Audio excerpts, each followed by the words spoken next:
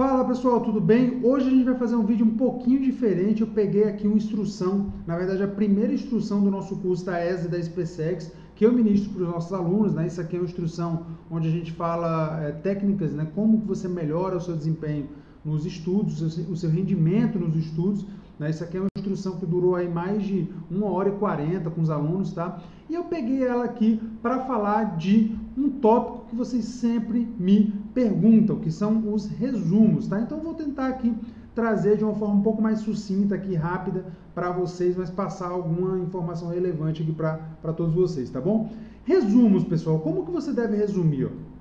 Primeira coisa que você deve entender é que os seus resumos devem ser tópicos, Tá? Então, eu pego muito aluno que é, tenta transcrever tudo que o professor está falando na aula e passar para o resumo. Não é assim que funciona. Mesmo porque, se você fizer isso, você vai passar duas horas numa aula de 50 minutos, quiçá mais, quiçá três horas numa aula de 40, 50 minutos. Então não pode fazer isso, você não deve fazer isso. Se você estuda num curso presencial, por exemplo, você não tem como fazer isso, não é verdade? Então, no, num curso online, como o nosso, por exemplo, você também não deve fazer isso. Então, anote tópicos. O que são tópicos? É isso aqui, ó.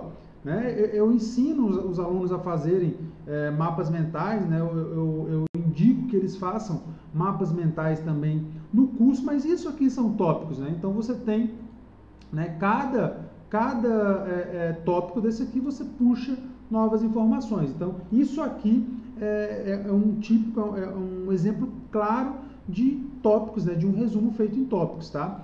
É, pare a aula se for necessário, então cuidado com excessos, cuidado para não ficar parando a aula demais tá? Para, como eu falei, não passar três horas numa aula de 40, 50 minutos. Revise com os resumos, tá? Com os resumos que você fez e adicione informações. Ou seja, você vai fazer um resumo hoje, tá?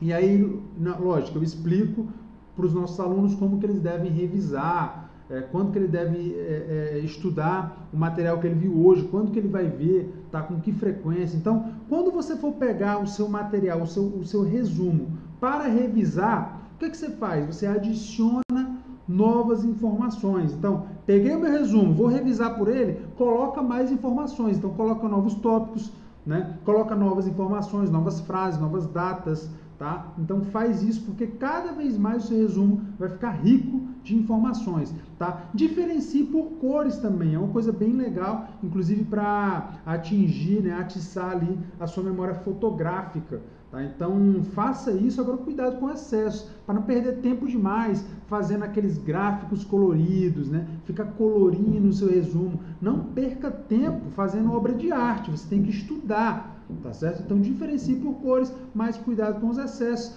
Faça mapas mentais, né? como, como esse aqui também, tá certo? E você pode também fazer resumos em áudio, ou seja, você pode fazer o seu resumo escrito e a partir do resumo escrito, você faz um resumo em áudio utilizando o seu próprio smartphone. Né? Então você faz esse resumo de uma forma que você possa escutar ele no ônibus, de uma forma que você possa é, escutar ele em qualquer momento aí que seja, é, é que seja melhor né, para você, tá certo? E lembrando, pessoal, o resumo em áudio ele tem que ser um resumo, ou seja, você não pode resumir uma aula de 50 minutos num áudio de uma hora. Não faz sentido. Então, você tem que resumir uma aula de 50 minutos num áudio de 5, 6, 7 minutos, utilizando o seu resumo escrito. Tá bom? Então, só trazer essa, essas informações aqui, né? Lógico, tem muito mais coisa.